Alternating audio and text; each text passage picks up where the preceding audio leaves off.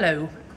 Uh, the first thing that we do is to identify the horse against his passport with his microchip number and also check that the uh, ID of the horse is the same as the passport and at the same time uh, we see when he was last vaccinated or any other relevant information in the passport.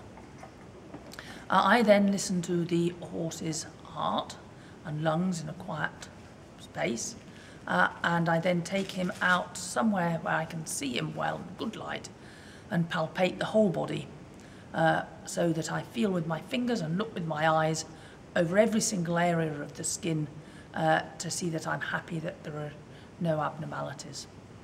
I then start with the head, having done that and feel the ears, both the inside and to the depths of the ears. I percuss the sinuses.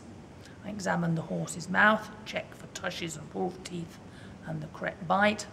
And I make sure that the horse has no scars associated with any uh, wind surgery.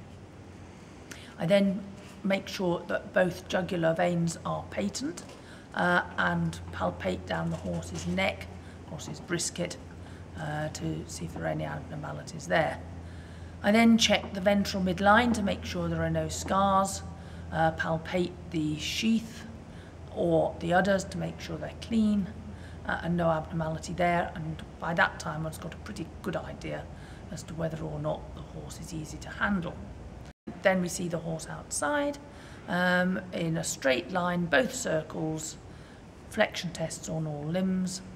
It's particularly important in my view that the horse is trotted in a circle on a hard surface. I do not, under any circumstances, lunge them on a hard surface. I think that's dangerous.